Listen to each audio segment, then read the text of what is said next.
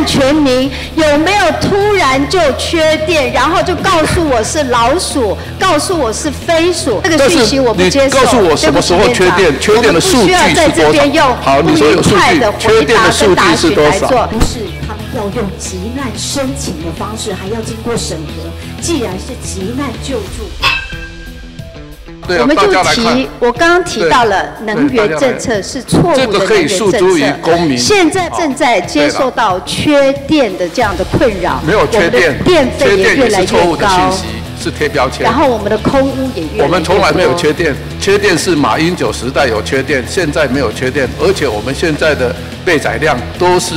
够的，你不能够说我刚刚提的数据是不正确的。哎，你讲缺电是不正确的哦。我告诉你，我提的每一个政策，所有的数据都是经过我们非常严谨的找出资料。请问什么时候缺电？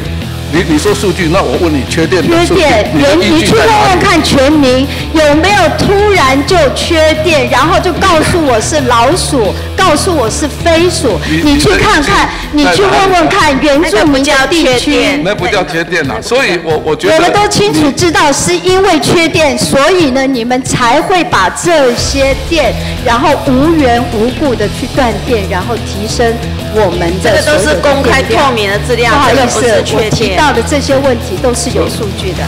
呃，院长是错的，或者你不能够说我的讯息是错的，这个是我不接受。缺电，这个讯息我不接受。告诉我什么时候缺电？缺电的数据是多少？好，你说有数据，缺电的数据是多少？你没有数据，可以在这边再做这样的讯息，老鼠的事情，那不是缺电吗？我相信。那个正好，那我要。好了，没关系，我们的院长他已经定调了。我今天所提的咨询，我相信是可以经过接受全民的检验，好不好？您可以有你的说法，好吗？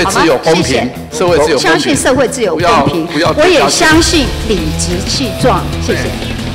问问看全民有没有突然就缺电，然后就告诉我是老鼠？不是，他们要用急难申请的方式，还要经过审核。好，你说有数据，缺电的数据是多少？